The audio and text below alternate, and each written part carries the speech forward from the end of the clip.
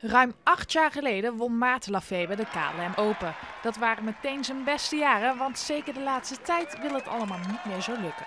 Ik heb wat blessures gehad, geopereerd vorig jaar aan mijn knie. En ehm, ja, gewoon met mijn swing is het minder gegaan. Ik heb een aantal dingen geprobeerd beter te doen in mijn swing en dat heeft gewoon een, een negatief effect gehad en niet een positief effect. En daar ben ik eigenlijk, heb ik nog een beetje de naweeën van gehad. Om zijn speelrecht voor de Europese golftour te behouden, moet hij meer dan 2 ton aan prijzengeld verdienen. Hij staat nu op slechts 91.000 euro. Ik sta er niet goed voor, maar ik weet hoe snel het om kan draaien. Ik heb nog 12 toernooien en ik moet daar ongeveer nog, uh, nou ja, wat zijn, 100, 110.000, 120.000 euro verdienen.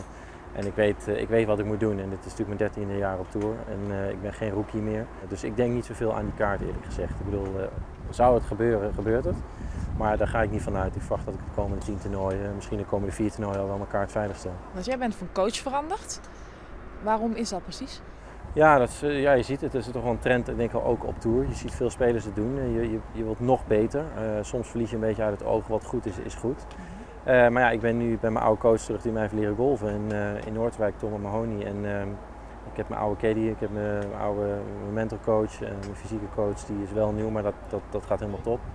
Dus ja, ik, team van mensen om me heen is prima nu en, en de rust is teruggekeerd. En, uh, ja, er is van alles gebeurd. Ik ben natuurlijk vader geworden, twee kinderen gekregen de laatste paar jaar. En uh, ja, soms is misschien je focus zonder dat je door hebt ook wat minder. En, en nou, dat is bij mij misschien gebeurd.